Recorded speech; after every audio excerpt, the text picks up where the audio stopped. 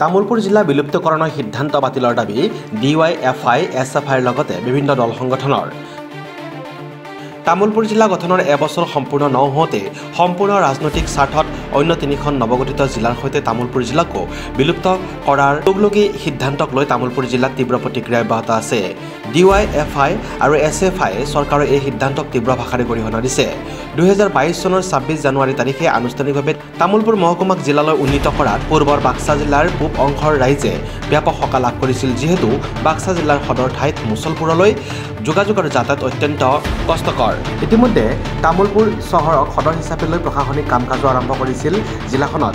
কিন্তু অঞ্চলটোৰ ৰাইজৰ কোনো মতামত অবিহনে ভাষণৰ ফুলজাৰি মাৰি বাহবা লোৱা BJP U P P L A G P চৰকাৰে তামোলপুৰ জিলাৰ মৰ্যাদা বাতিল কৰা কাৰ্যত অঞ্চলটোৰ ৰাইজৰ বাবে চৰম অপমানজনক আৰু চূড়ান্ত অপৰিপক্কতাৰ পৰিচয় বুলি অভিহিত কৰিছে। নিখিল ভাৰত কৃষক সভা তামোলপুৰ জিলা সমিতিৰ সম্পাদক প্ৰবীণ দাসে এই সিদ্ধান্ত অগণতান্ত্ৰিক বুলি অভিহিত কৰিছে। নিখিল ভাৰত কৃষক সভাৰ তামোলপুৰ জিলা কমিটিয়ে তামোলপুৰ জিলা বিলুপ্তিকৰণৰ যি সিদ্ধান্ত চৰকাৰৰ এই সিদ্ধান্তৰ আমি প্ৰতিবাদ কৰিছোঁ। আৰু এই ক্ষেত্ৰত তামোলপুৰ জিলাখনৰ এবছৰ ন হওঁতেই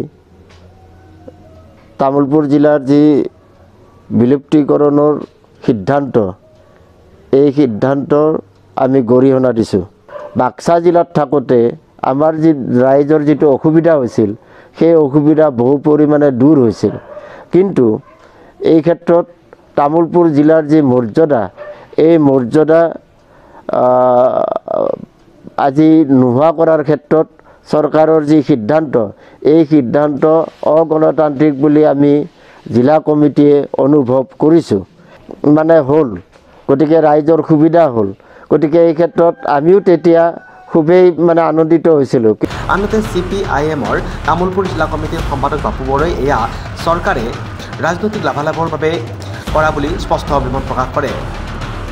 ঠেক ৰাজনৈতিক স্বাৰ্থৰ লাভালাভৰ বাবে বিলুপ্তকৰণৰ তগলগী সিদ্ধান্তক C P I M Tamulpur জিলা কমিটিয়ে তীব্ৰ প্ৰতিবাদ কৰিছোঁ। তামোলপুৰ জিলা হোৱাত পূৰ্বৰ বাক্সা জিলাৰ পূব অংশৰ ৰাইজে বহুতো সকাহ পাইছিল। বাক্সা জিলাৰ সদৰ ঠাই মুছলপুৰলৈ যোগাযোগ আৰু যাতায়াত ব্যৱস্থা অত্যন্ত দৃঢ়। ইতিমধ্যে তামোলপুৰ চহৰক সদৰ হিচাপে লৈ প্ৰশাসনিক কাম কাজো চলিছিল কিন্তু জিলাখনৰ ৰাইজৰ কোনো মতামত অবিহনে।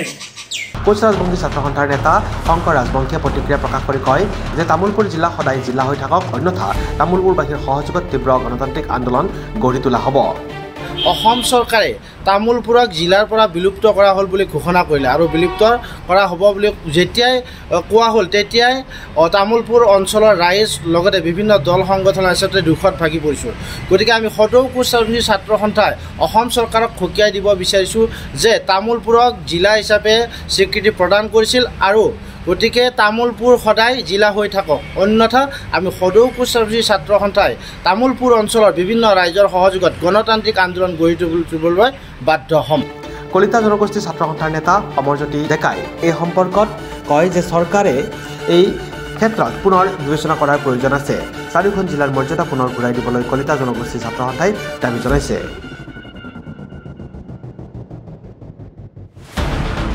যেতিয়া নতুনকৈ ঘোষণা হ'ল তামোলপুৰ জিলা। তেতিয়া ৰাইজে নিশ্চয় স্বস্তিৰ নিশ্বাস পেলালে। দীৰ্ঘদিনীয়া দাবী এটাও হৈছিল। কিন্তু পুনৰাই আকৌ। আৰু এই ক্ষেত্ৰত আমি আন আন এটা কথাও ক'ব লাগিব। এই যে জিলাখন অসমৰ নতুনকৈ গঠন হোৱা বি টি আৰৰ বি টি আৰৰ চিফ প্ৰমোদ বড়োৰ গৃহ জিলা আছিল। গতিকে তেখেতৰো নিশ্চয় ক'ৰবাত খুটি নাতি ৰৈ গৈছে। তেখেতৰো নিশ্চয় কৰণীয় নিশ্চয় হিন্দেৰি ঘটিছে।